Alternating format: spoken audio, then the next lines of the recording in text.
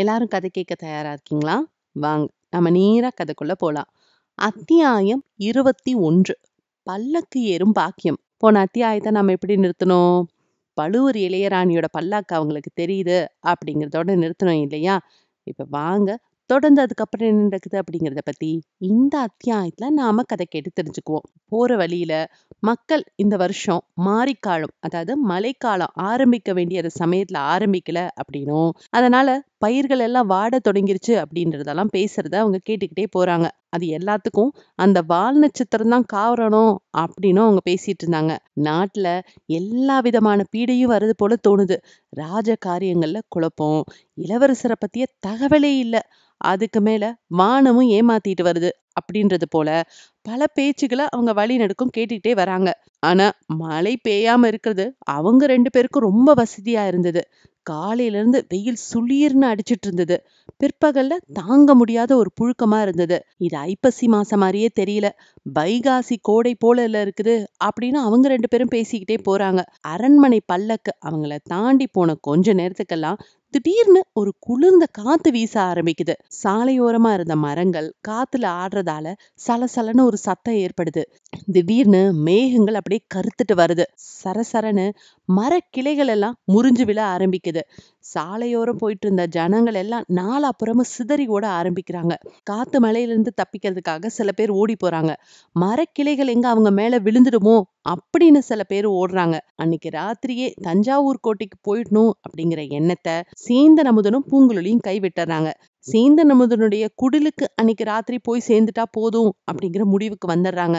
மழைக்கால இருட்டுல ஒருத்தர் ஒருத்தர தைரியப்படுத்திக்கிட்டு ஜாக்கிரதையா நடந்து வராங்க.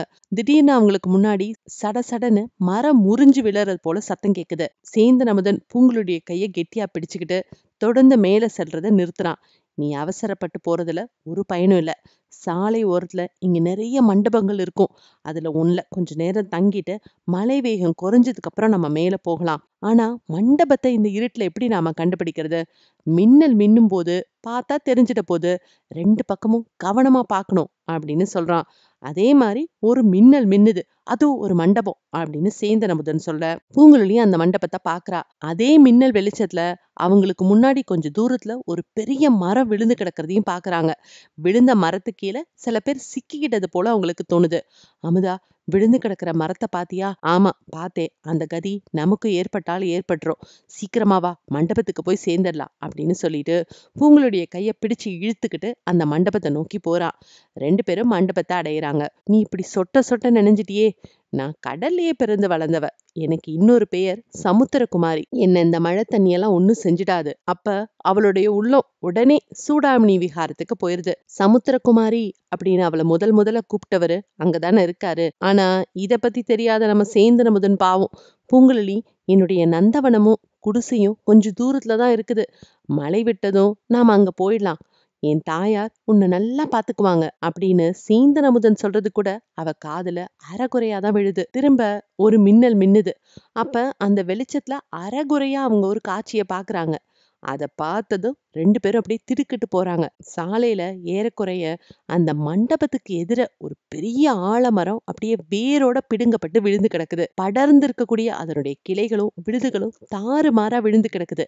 அது கீழ ரெண்டு குதிரைகளும் 5, 6 மனுஷங்களும் மாட்டிட்டு இருந்தாங்க. அப்படி அகப்பட்டவங்கள காப்பாத்துறதுக்காக சில பேர் முயற்சியும் செஞ்சுட்டு இருந்தாங்க. அவசர அவசரமா அவங்கள முறிஞ்சு கிடந்திருந்த கிளைகள்ல இருந்து அப்புறப்படுத்திட்டு இருந்தாங்க. ஐயோ அப்பா இங்க அங்க சீக்கிரம் அப்படின்ற சத்தங்களும் கேட்க ஆரம்பிக்குது. இதெல்லாம் விட அதிகமா நம்ம சேந்தன் அமுதன் பூங்களுடைய கவனத்த வேறொன்னு கவர்ந்துச்சு. விழுந்து கிடந்த மரத்துக்கு கொஞ்ச தூரத்துல ஒரு பல்லக்கு ஒன்று தரையில வைக்கப்பட்டிருந்தது. அது பக்கத்துல ரெண்டு ஆட்கள் மட்டும்தான் நின்னுட்டு இருந்தாங்க. மத்தவங்க விழுந்து கிடந்தவங்கள காப்பாத்துறதுல முயற்சி செஞ்சுட்டு இருந்தாங்க. அமுதா பல்லக்க பாத்தியா? பாத்தே பழுவூர் ராணியுடைய பல்லக்கு போல இருக்குது. விழுந்த மரம் அந்த பல்லக்க மேல விழுந்திருக்க கூடாதா? கடவுளே ஏன் அப்படி சொல்ற? பழுவூர் ராணிய பார்த்து அவ மூலமா ஏதாவது காரியத்த சாதிக்கலாம் அப்படின்னு கொஞ்ச நேரத்துக்கு முன்னாடி சொன்னியே. ஆமா. இருந்தாலும் அந்த பழுவூர் ராணி எனக்கு அவ்வளவா பிடிக்கல. பிடிக்கல அப்படிங்கிறதுக்காக அவ மேல மரம் முறிஞ்சு விழணுமா என்ன? சாதாரணப்பட்டவங்க தலையில தான் மரம் விழணுமா என்ன? ராணிகள் தலையில விழக்கூடாதா? அது போனா போகட்டும். இப்ப நாம பல்லக்கு பக்கத்துல போனா பழுவூர் ராணிய பார்த்து பேசலாமா? கோட்டைக்குள்ள போறதுக்கு அவளுடைய உதவிய கேட்கலாமா? அழகுதான். ராணிய பேட்டி காண்றதுக்கு நல்ல சமயம் நல்ல இடம். பல்லக்கு கிட்ட போனா மழைக்கால இருட்டுல திருட வரும் அப்படின்னு நினைச்சிட்டு நம்மள அடிச்சு போட்டான்னு போட்டுருவாங்க. ராணிய நான் பார்த்துட்டா அப்புறம் காரியம் எளிதாகிடும். அது எப்படி? என் அண்ணியோட பேரை சொல்லுவேன். அப்படி இல்லைன்னா மந்திரவாதி ரவிதாசன் அனுப்பனா அப்படின்னு சொல்றேன். நல்ல யோசனை தான். ஆனா ராணி கிட்ட நெருங்க முடியாது இல்லையா? அதோ பார் பூங்குழலி.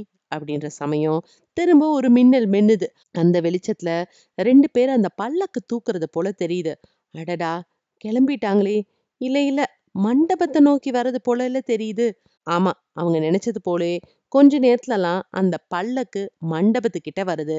பல்லக்க சுமந்து வந்தவங்க அதை இறக்கி வைக்கிறாங்க. பழுவூர் ராணி நம்மளையே தேடிட்டு வராளே அப்படின்னதும் அமுதன் அவளுடைய கரத்தை பிடிச்சிட்டு மண்டபத்தோட உட்புறத்தை நோக்கி நகர முயற்சி செய்யறான் ஆனா பூங்குழலி அங்கிருந்து நகர மறுக்கிறா. அதுக்குள்ள யாருங்க? அப்படின்னு ஒரு அதற்ற குரல் கேக்குது. பயப்படாத அண்ணே உன்னை போல நாங்களும் வழி போகிறர்கள் தான். மழைக்காக மண்டபத்துல வந்து ஒதுங்கி இருக்கோம் சரி சரி பல்லக்கு பக்கத்துல வரக்கூடாது. நாங்க ஏனே பல்லக்கு கிட்ட வரப்போகிறோம் பல்லக்கில் ஏறுறதுக்கு பாக்கியம் செஞ்சிருக்க வேண்டாமா? அப்படின்னதும் நம்ம சேந்தன முதனுடனே வள்ளுவர் பெருமாள் கூட இதை பத்தி சொல்லியிருக்காரே. முற்பிறப்பில் செய்த வினை போதும் போதும். வாயை மூடிட்டு சும்மா இருங்க. நீங்க எத்தனை பேர் இருக்கீங்க? நாங்க ரெண்டு பேர் தான்.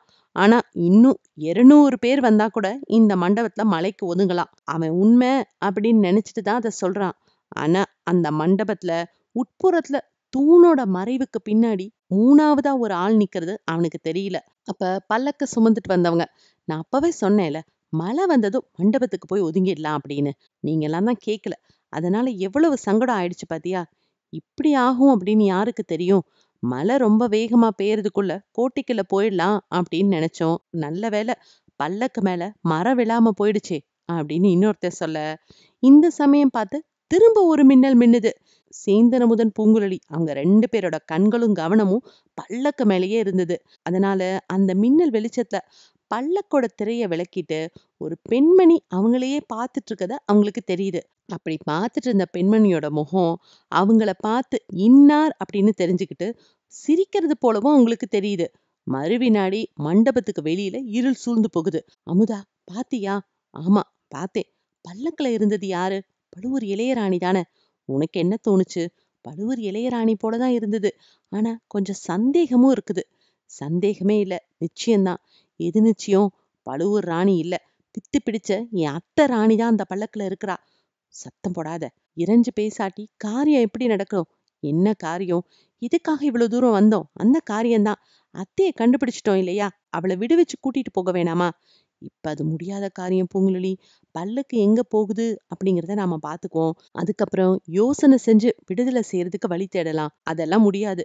இப்பவே அத்தைய விடுதலை செய்யணும். உனக்கு பயமா இருந்தா நீ சும்மா இரு. விடுதலை ஆவறதுக்கு உன் அத்தை சம்மதிக்கணும் இல்லையா?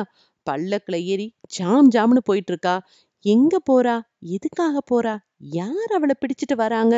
அப்படிங்கறதெல்லாம் தெரிஞ்சுக்க வேணாமா? பாதாள சிறைக்கு கொண்டு போறாங்களோ என்னமோ? அப்புறம் நம்மால என்ன செய்ய முடியும்? ஏன் முடியாது? பாதாள சிறையிலிருந்து வெளியே வந்தவன் தான் நான். அரண்மனையில எனக்கு கொஞ்சம் செல்வாக்கு இருக்கு. உன் அத்தையை எப்படியாவது நான் விடுதலை செஞ்சிடுறேன் இப்ப நீ சும்மா இரு. அப்படின்னதும் பூங்குழலியும் சரி நம்ம பொறுமையா தான் இருக்கணும் அப்படின்னு முடிவு செய்யறா ஆனா அச்சமயம் அவங்க எதிர்பாராத காரியம் ஒண்ணு நடக்குது. மூடு பல்லக்கில் விலகிய திரை இன்னும் நல்லா விலகுறது போல தெரிஞ்சுது. அதன் உள்ளிருந்து ஒரு உருவம் வெளியே வருது. சத்தம் கொஞ்சம் கூட இல்லாம பூனை நடக்கிறது போலவே நடந்து வருது. அடுத்த வினாடி அவங்க பக்கத்துல வந்துருது. இவ்வளவும் நல்லா இருட்டுல நடந்தனால மண்டபத்துக்கு பக்கத்துல நின்ன அந்த காவலர்கள் அதை கவனிக்கல. பல்லக்குல இருந்து வெளிவந்தது ஊமை ராணி தான் அப்படிங்கறத பூங்குழலி அந்த இருட்டுல நல்லா தெரிஞ்சுக்கிறா. ஊமை ராணி அந்த ரெண்டு பேரும் கையும் இழுத்து பிடிச்சுக்கிட்டு அந்த மண்டபத்தோட பின்பகுதிக்கு வேகமா போறா. பூங்குழலியை கட்டி பிடிச்சு அவளுடைய மகிழ்ச்சியை தெரிவிக்கிறா. அதுக்கப்புறம் அத்தையும் மருமகளும் ஊமை பாஷையில பேச ஆரம்பிக்கிறாங்க. அந்த காரிருளில் அவங்க ஒருவருக்கொருவர் எப்படிதான் பேசிக்கிட்டாங்களோ ஒருத்தர் கருத்தை இன்னொருத்தர் எப்படிதான் புரிஞ்சுக்கிட்டாங்களோ அதை நம்மளால சொல்லவே முடியாது. ஆனா பூங்குழலி சேந்தன் அமுதனை பார்த்து அத்தை சொல்றது உனக்கு தெரியுதா? என்ன பல்லக்குல ஏறிட்டு போக சொல்றா. அவளை உன் வீட்டுக்கு கூட்டிட்டு போக சொல்றா. நீ என்ன செய்ய போற பூங்குழலி? அத்தை சொல்ற மாதிரி தான் செய்ய போறேன். ஆளை பிடிச்சிட்டு வர சொன்னவங்க யாருன்னு தெரிஞ்சுக்க வேணாமா அமுதா யோசிச்சு சொல்லு பூங்குழலி. நீ செய்யறது சரிதானா? அதுல ஏதாவது ஆபத்து இருக்குமா? அமுதா நீ கவலைப்படாத. அத்தை சொல்றபடி செஞ்சா எனக்கு ஒரு ஆபத்தும் இருக்காது. அப்படி ஏதாவது இருந்தா என் இடுப்புல தான் கத்தி இருக்கவே இருக்கே அப்படின்னு சொல்லிட்டு அத்தைய மறுபடியும் ஒரு தடவை கட்டி பிடிச்சிட்டு பூங்குழலி அவளை போலவே சத்தம் எதுவும் செய்யாம பல்லக்குல ஏறி போய் உட்கார்ந்துக்கிட்டு திரைய மூடிடுறா. இத்தோட இந்த அத்தியாயம் முடிவுக்கு வருது. அடுத்த அத்தியாயத்துல தொடர்ந்து என்ன நடக்க போகுது அப்படிங்கிறத பத்தி நாம கதை கேட்டு தெரிஞ்சுக்குவோம். நான் கதை சொல்ற விதம் உங்களுக்கு பிடிச்சிருந்தது அப்படின்னா என்னோட வீடியோவை லைக் பண்ணுங்க ஷேர் பண்ணுங்க சப்ஸ்கிரைப் பண்ணுங்க. நன்றி வணக்கம்.